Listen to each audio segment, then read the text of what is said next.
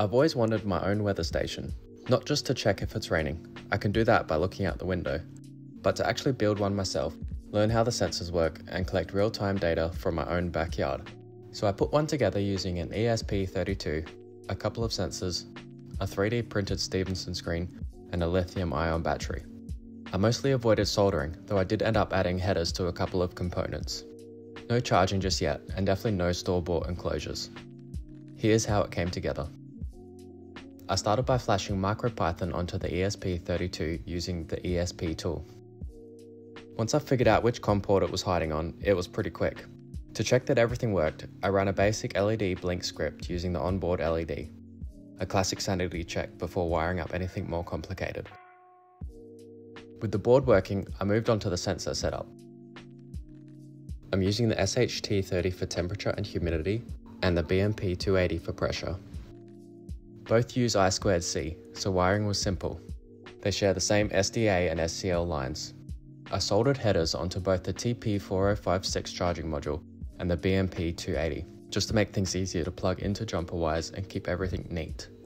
Power comes from a 3.7 volt lithium ion battery, which I'm running through a TP4056 with protection. I'm not actually charging the battery yet, that's something I'll cover in another video but the TP4056 makes for a safer connection between the battery and the ESP32. From there, I run it straight into the VIN pin. It's not a perfect match voltage wise, but the ESP32's onboard regulator handles it fine for this setup. Once the wiring was sorted and everything was working on the breadboard, I started thinking about how to mount it outdoors. I 3D printed a Stevenson screen, basically a vented enclosure designed to protect the sensors from direct sunlight and rain, while still letting air circulate. I didn't design it myself, so I'll leave a link to the file below. I also printed a separate box to sit underneath the Stevenson screen where the ESP32 and battery could live, protected from the elements but still accessible if I need to tweak anything. It's all held together with wires, no perf board this time, but it does the job. The printing itself took a bit of trial and error. I had to do a few versions to get everything to fit properly. Measure once, print twice apparently. But in the end, I got the layout compact enough to keep things clean and modular. For the software side, I wrote a simple MicroPython script to read values from the sensors and push them to Adafruit over Wi-Fi. I set up a dashboard there with a few graphs and gauges just to visualize the data. It's really intuitive. You can drag and drop widgets, customize them, and get a live feed of what's happening outside. Right now, it's not in its final mounting spot.